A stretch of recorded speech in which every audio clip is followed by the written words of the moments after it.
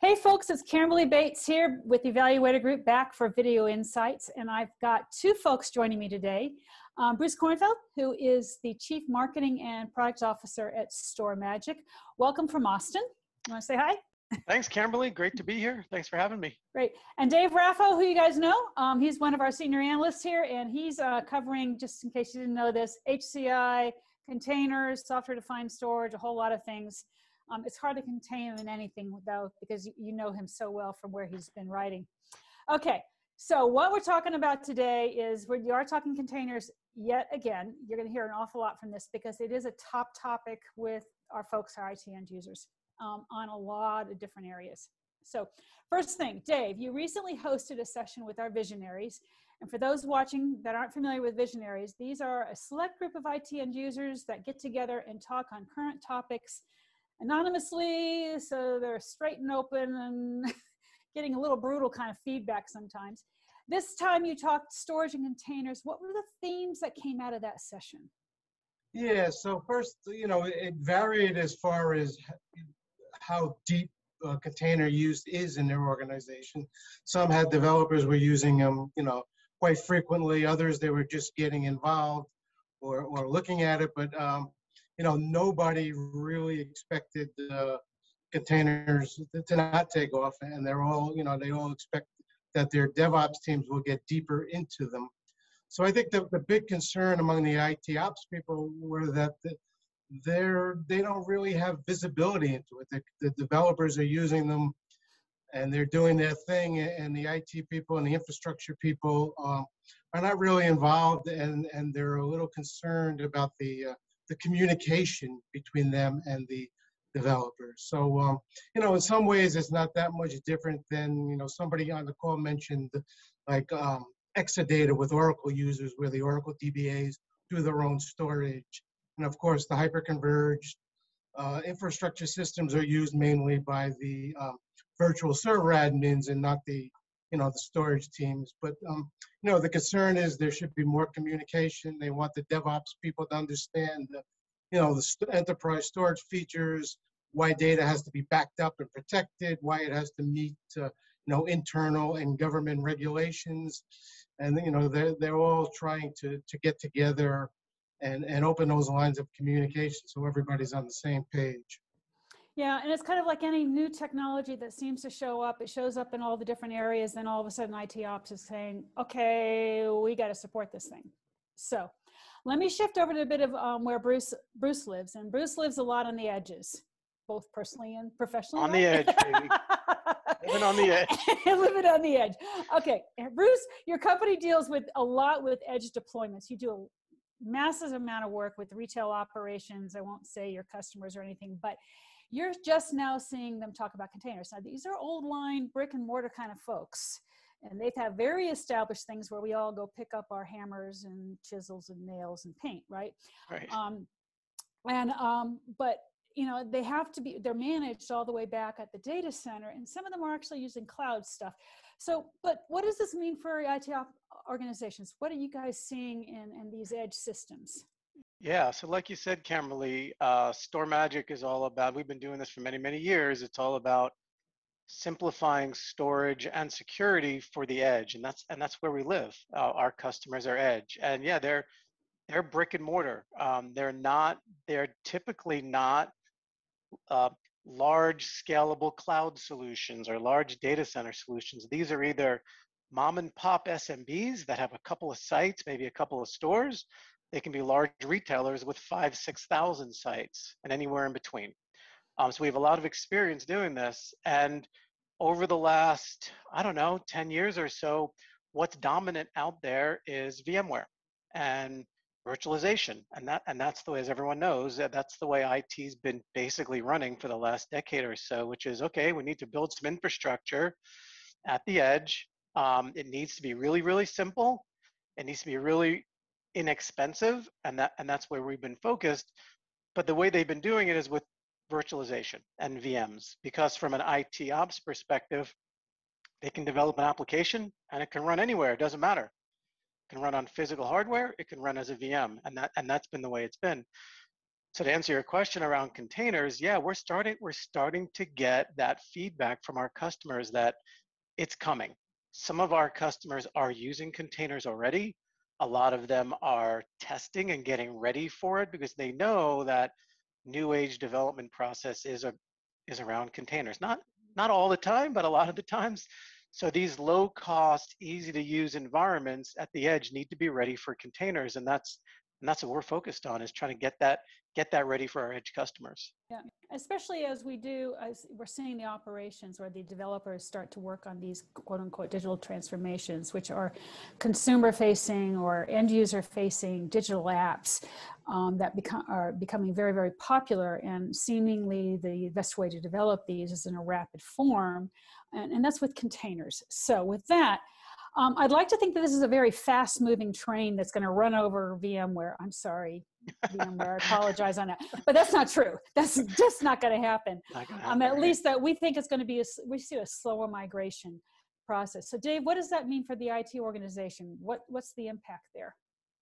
Well, it's funny you mentioned that, and Bruce mentioned that, because a couple of our visionaries did mention that, you know, they were they're considering Tanzu, the the way to, to go early on. They, you know, they're looking, they're evaluating it and seeing it as a way to bridge the transition. And, uh, you know, it definitely is a transition where people are going to have to deal with both VMs and containers um, sometimes simultaneously, uh, but, you know, on, you know, on the same system, but it's, it, it is a kind of a slow moving train. You know, I mean, we, the evaluator group, we recently did a survey where, uh, you know, 18% of the respondents of IT end users said they've deployed most or all workloads and containers.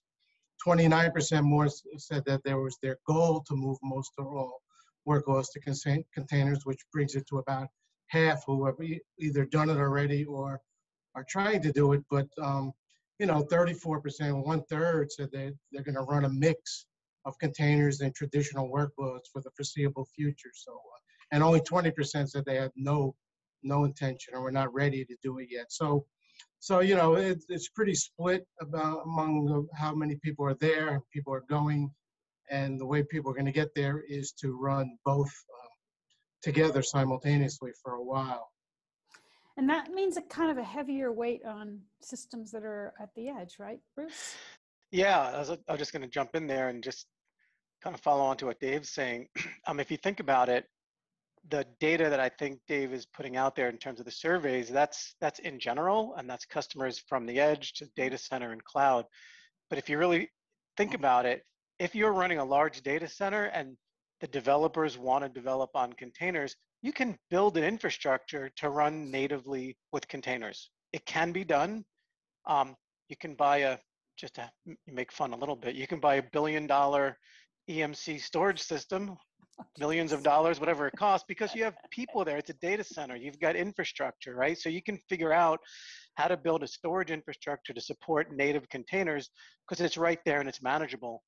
But take that out to the edge, and it's a whole it's a whole nother world, right? There's there's no IT support. There's there there's lack of physical security. There's, there's a lot of issues at the edge that need to be handled carefully. So um, you know, it's no different from what Dave was saying is we're seeing our customers say we want to deploy containers, but there has to be with with VMs. We're not ready to go full on containers without because we've built we've built they've built the management framework around VMware um, you know, over the years, so they're not ready to just rip that out and build all new processes around the world. So what we're seeing in our um, our CSI driver that we have um, um, what we're focused on is being able to tell customers, hey, keep doing what you're doing with VMs and all your management infrastructure, but when IT wants to deploy a new app at the edge, run it with our CSI driver to give you that persistent, highly available storage, but do it with virtual machines inside a virtual machine or uh, using Tanzu that it can go side by side with the VM, but at least the management infrastructure doesn't change, but you can still start to deploy containers today. Yeah. So given the adoption cycle and the pressures that are on IT ops, um, what are some of the technical issues, maybe one or two things that they should be aware of, Dave? Well, you know, there's, first of all, the way that storage is managed, provisioned, uh, is different in containers and Kubernetes than it is in traditional systems. Uh, you know, the developers are using things like, uh, you know, persistent volumes, persistent volume claims, dynamic volumes where you pre-populate uh, your, your storage volume. You know, on demand. You don't you don't wait to um, to have somebody say I need X amount of storage. Uh, you build storage classes where this is all done ahead of time, and you just you know make a call to a storage class. You know, monitoring management tools are, are different than you would get with traditional storage, and I think people need to understand that. Also, you know what you can and can't do with CSI drivers. Uh, you know, it's different in different systems. How how uh, how deeply the integration is. So, um, you know, just like uh, you know, I was saying earlier, the the DevOps teams need to understand. Uh, you know, features that you might need for enterprise storage. I think the, the IT ops people need to understand, you know, what the process and, and how you go about managing storage in Kubernetes and containers are. So they're, you know, they're Yeah. different processes. Yeah.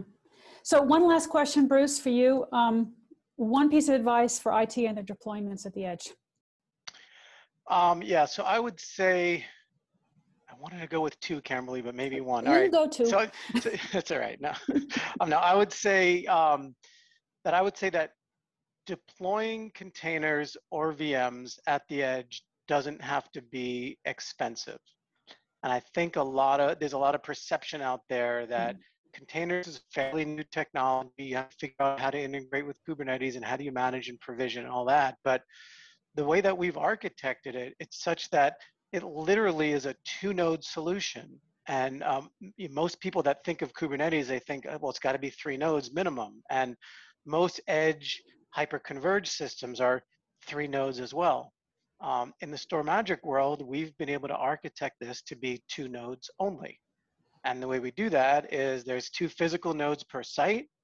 Um, we do the quorum through a remote witness that can manage up to a thousand sites, and that's that's one of the pieces of secret sauce that we have. So, and we've architected our CSI driver, our our container storage interface driver, to work with SVSAN and Kubernetes to make sure we can provision storage up to containers, and we've done it still with only two nodes. And the way that works is it's a it's, it's a highly available cluster that we create on this hyper converged two nodes, and the customer then would run three um, Kubernetes nodes on those two in a virtual way. So yes, yeah, so we figured out how to make a two node solution work. It doesn't have to be super expensive.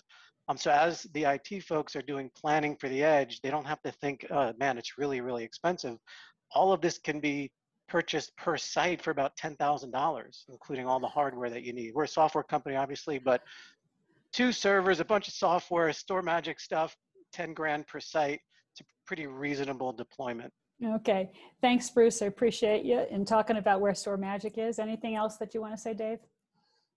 No, I just, you know, what, what Bruce was saying, I agree. You know, when you have, uh, you know, retail companies where they might have four or 5,000 edge sites and they have devices on all of them, you know, you need everything built in, you know, it has to be easy to install. You know, you have to have your monitoring, diagnostics, analytics, security, high availability. Everything has to be built into these, um, you know, two or three, and, and as Bruce was talking, just two node devices. So, um, you know, it changes. It's it's not just uh, you know, two or three robo sites where a company could could manage them remotely from the data center. Okay, there Thanks, we have Camberley. it, guys. Have a great one. Take care. Appreciate it. Thanks very Thank you. much.